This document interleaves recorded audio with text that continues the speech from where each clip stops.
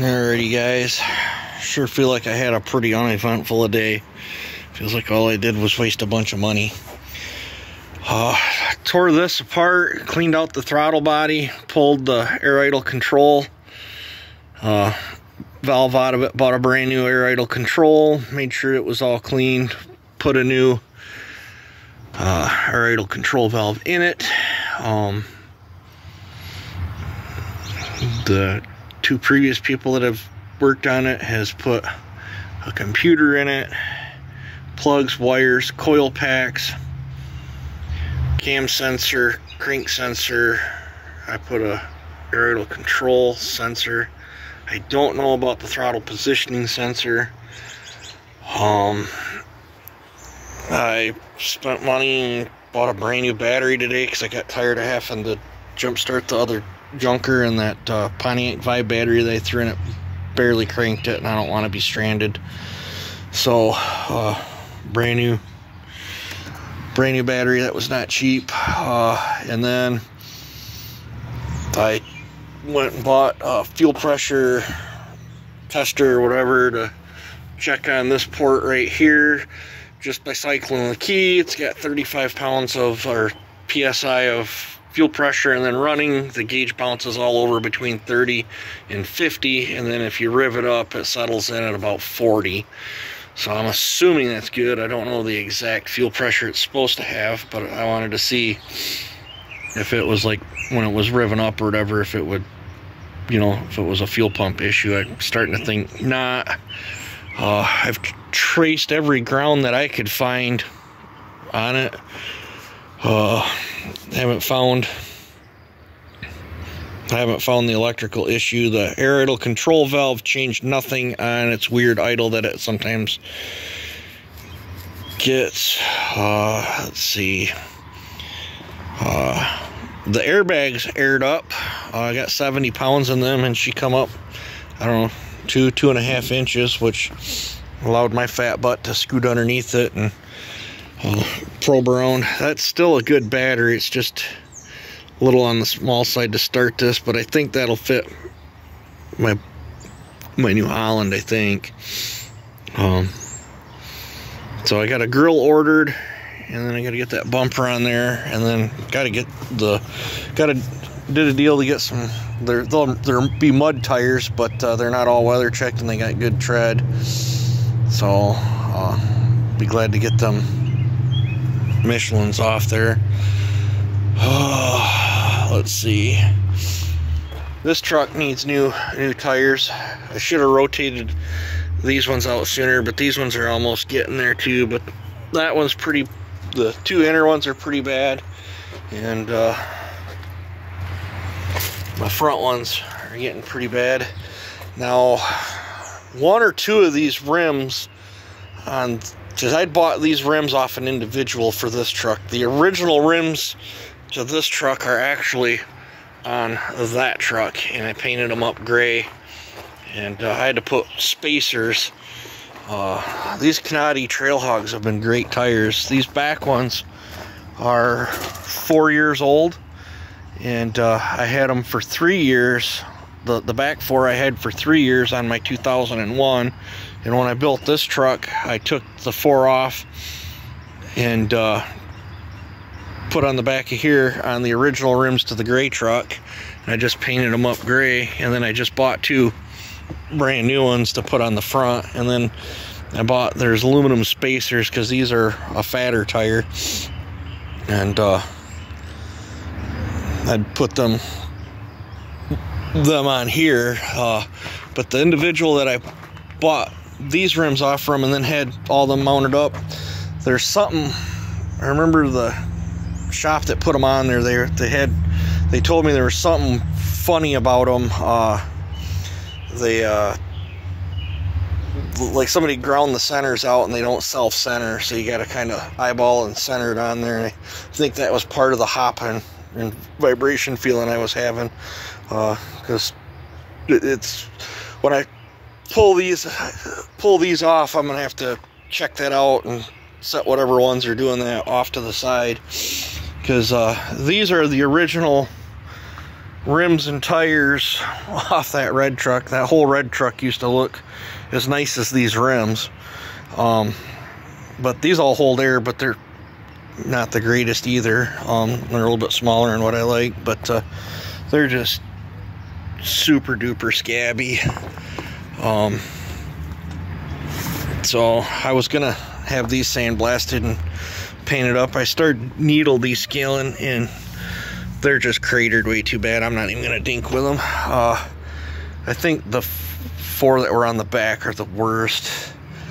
I think this rim's not too terribly bad. And this one's bad. There should be I'm missing a tire. Oh, it's over here.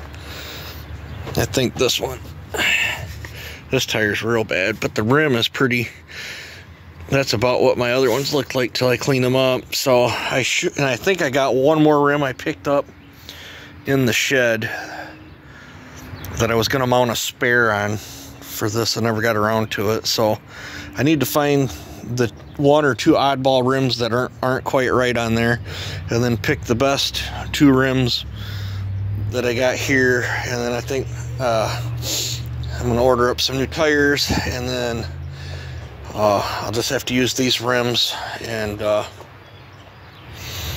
yep I'll keep I think I'll keep the two outside back duals and have them still mounted up on an one of these other sets of rims or whatever so I can still keep a same size spare. But uh, yeah, I think I'll clean up and paint that one. And I think the other front one right here these back four are pretty grody. Uh, they still hold air or whatever but they're, they're too shitty for my truck. I don't I don't want to put them on here but I think that's my option there. So, and then Gator's all fixed, all fixed and running. So, uh, yep, hopefully uh, that stays good. And then I don't know. I don't. I ain't even been to bed yet. So I've been up what, something 37, 38 hours, something like that. So. I don't know. I, was gonna split some more wood, but I don't, I don't think I got it in me tonight. So I don't know. Crap, I save. Uh, I don't remember them looking quite that bad when I put them in the shed, but apparently they are. So dogs are getting upset. Um, this might have been one of them rims that might not be centered on there and hopped along or something. I don't. I don't know. I know when you bolt your when you rotate or whatever, whenever you get them on wrong, it was pretty noticeable. You get going down the road and it you it just get like a steady, you know, thumping along or whatever. But uh, I'll have to sort that out. If not, I'll end up buying a completely different set of rims already been looking on marketplace but uh, yeah. So this thing's got me at a loss. I don't know. I don't know what's wrong with it. Um, I'm gonna assume it's got an intermittent wiring harness issue and wiring is not my strong suit. So it uh, see if she'll start up Getting too many Dodge keys on here.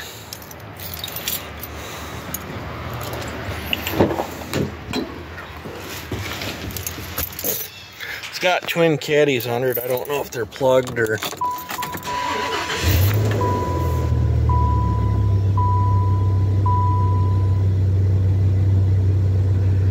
ain't idling too bad right here at the moment. I had the wife come out earlier, had her watch the fuel gauge while I was all crawling underneath and wiggling and jiggling stuff to see if I could get the fuel gauge to to dink around. But I, I know when you're driving down the road, all of a sudden that fuel gauge will start wobbling back and forth and then it'll veer over to empty and then all of a sudden the truck will quit on you. and then while you're coasting down the road you just click it back and then start it right back up and carry on your way. And uh, I gotta get the rear view mirror fixed too. It's sitting underneath the seat. But uh, yeah. You got me. That new battery sure she sure starts up nice though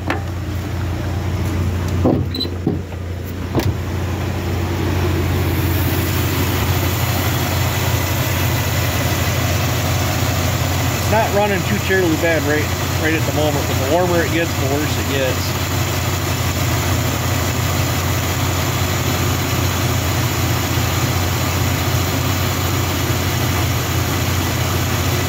And it does have a K&N filter, and I, I checked that out when I was into it.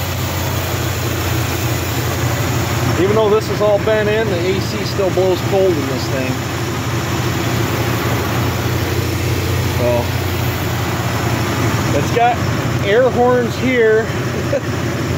and then I, this line right here must have went over to it at one point or something, or it had something there.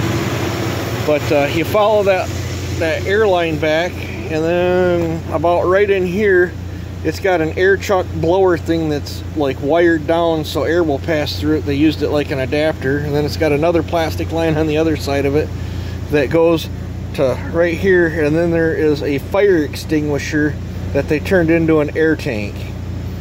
And uh, from what I can tell where the air pump was mounted the air pump is now missing. There's some sort of pump up here but it, I don't know if it's factory or what but it's all rubber rubber mounted but the, the wires have been cut cut to it. It uh, and then I don't know what these these wires go to yet either. Ain't figured that out. But uh, yeah. This is how this thing is. Sometimes it runs great and then sometimes it don't. It's running pretty good right now. making a liar out of me. If it run like that all the time, I'd be happy.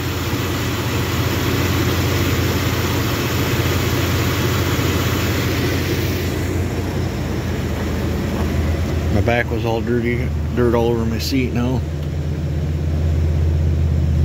But, I don't know. Guess we'll just drive her till she quits. Till don't run no more at all, and then we'll try to sort the issues out.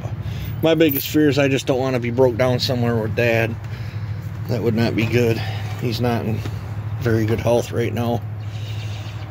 Being stranded with him wouldn't be good at all. So that light is nice and bright with that new battery. That battery's junk. The battery that was originally in it's junk. I took that in for a core. And then, you know, I got two other ones around here today that, that I charged up. I got a grill on order. Uh, that battery's still still good. And uh, that one took a charge, but it cranks slow. So, let's check it with a voltmeter and it's good, but it, it cranked really, really slow on this thing. So, I thought about hanging on to it for a while and maybe using it as a little booster battery. But I've blibber blabbered on here enough. Um, I'm probably going to take this toolbox and mount in the back of it. Um, so I got some storage, long box. I got plenty of room. So, uh, yeah. So that's my very uneventful day. You guys take it easy and have a good one.